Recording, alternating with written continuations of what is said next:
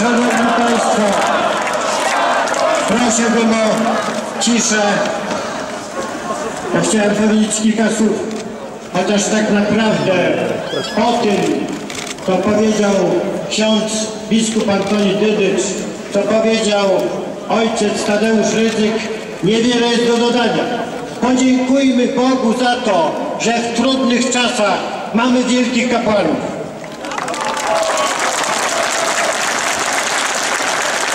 Naprawdę wiele. Takich, których misja wpisuje się wspaniale w dzieje Kościoła, w dzieje Polski. Przyszliśmy tutaj, to wszyscy wiemy, po to, żeby bronić telewizji Trwam, żeby nie zamykano jej drogi do polskich domów. Ale chcemy także bronić w przyszłości Radia Maria, bo przecież wiemy, że te ciosy mają i Radia Maria pewnie w niedalekiej przyszłości, gdyby im się udało dotyczyć. Ci, którzy mają, mówią prawdę, mają milczeć, mają być uciszeni. Chodzi nam wszystkim o prawa polskich katolików, tych prawdziwych, niekoniunkturalnych, tych, których próbuje się spychać na margines, eliminować z normalnego życia, eliminować życia publicznego. Mają być tymi obywatelami drugiej kategorii. Ale chodzi nam także o prawdę. O tą prawdę najważniejszą. Prawdę Słowa Bożego. Prawdę nauki Kościoła. Ale także o tą prawdę, do której głoszenia nie wszyscy mają odwagi. Nie wszystkim staje odwagi. Ja chcę Państwu dać w tej chwili jeden przykład. Jeden przykład, który dotyczy Radia Maria i dotyczy także telewizji Trwam. W Polsce zlikwidowano ogromną część, większość przemysłu. Kto go bronił? Kto bronił go często po samotnieniu? Radio Maria, później także telewizja Trwam. Dzisiaj bardzo, bardzo wielu ekonomistów, publicystów ekonomicznych mówi, nie trzeba było likwidować przemysłu. To był wielki błąd. Pamiętajmy o tych, którzy mieli rację, bo dzisiaj bardzo często chce zamykać się im usta. A to jest bardzo ważne. Musimy pamiętać, kto w jakim momencie naszego życia, naszej historii miał rację. Chodzi o polską demokrację, o polską wolność, o pluralizm mediów. Te sprawy są ze sobą bezpośrednio związane. Nie ma bez pluralizmu wolności mediów, bez wolności, wolności słowa nie ma demokracji. Każdy uczciwy człowiek, choćby nawet i niewierzący, musi przyznać, że polscy katolicy mają prawo do swoich mediów. I musi przyznać także, że media w demokratycznym państwie powinny być zróżnicowane, bo bez tego nie są w stanie wypełnić swojej zasadniczej roli.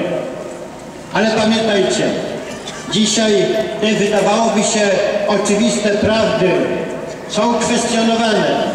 Kwestionowane nie tylko w Polsce, kwestionowane także w Europie. Kwestionowane w imię tak zwanej poprawności politycznej. Otóż trzeba sobie jasno powiedzieć, dzisiaj właśnie poprawność polityczna jest głównym orężem w walce z wolnością. Jest największym zagrożeniem dla wolności. I musimy mieć odwagę powiedzieć poprawności politycznej nie. W Polsce nie.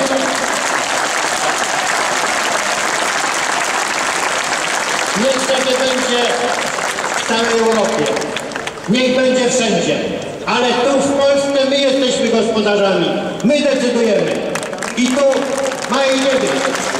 Nikomu nie wolno zamykać ust, dlatego, że ma inne poglądy niż jacyś niezbyt mądrzy ludzie z różnego rodzaju salonów.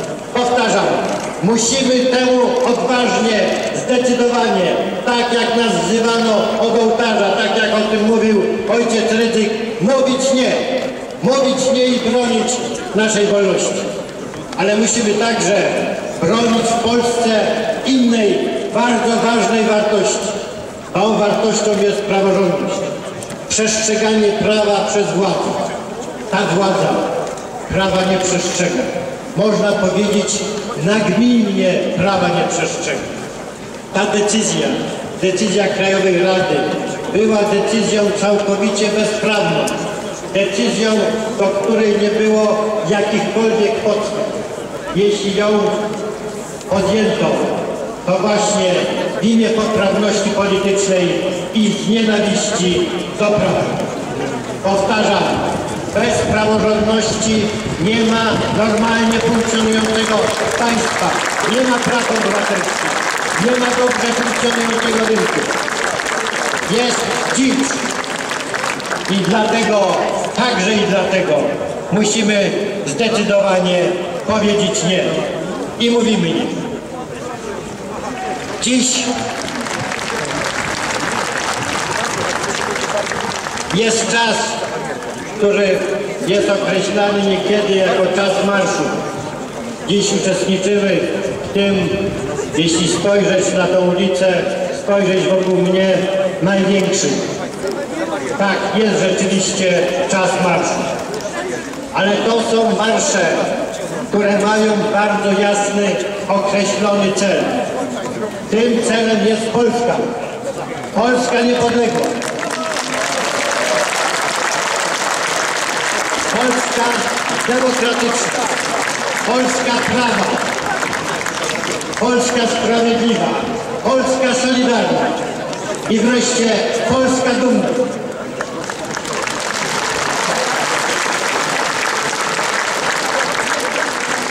Idziemy w tym marszu i w tych setkach innych marszów z podniesionymi głowami. Idziemy dumni.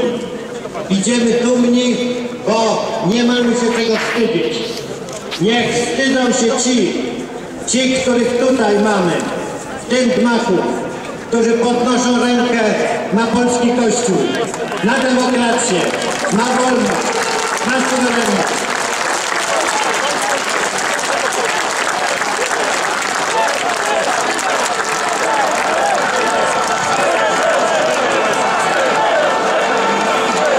którzy wreszcie podnoszą rękę, co pokazuje sprawa smoleńska, na godność naszego narodu, na godność każdego Polaka. Bo tu nie chodzi tylko o tych, którzy stracili rodziny, stracili przyjaciół. Tu chodzi o każdego, kto czuje się Polakiem, kto ma poczucie polskiej godności. Ta godność jest dzisiaj weptana i powtarzam, ci, którzy tak czynią, mają powód się wstydzić, mają powód do tego, by nosić spuszczone głowy. I niech noszą, niech noszą, niech się wstydzą. My, powtarzam, maszerujemy z podniesionymi głowami. Maszerujemy z podniesionymi głowami i wiemy, że jest wiosna. I wiemy, że po wiośnie przyjdzie lato, że przyjdzie sierpień. Tak, przyjdzie sierpień. Musimy tylko wierzyć. Musimy być głęboko przekonani, że zwyciężymy, że nie ma innej drogi, tylko zdecydowanie odwaga, a zwycięstwo przyjdzie. Tak jak przyszło już prawie 32 lata temu. Przyjdzie i tym razem zwyciężymy. Ale jest jeszcze jedna potrzeba w tej chwili i też była o tym mowa w trakcie tych pięknych wystąpień wielkich duszpasterzy Polaków. To jest potrzeba jedności. Sądzę, że jest dobra okazja. Zwracam się do wszystkich. Zwracam się do Ciebie, Zbyszku. Zapomnijmy.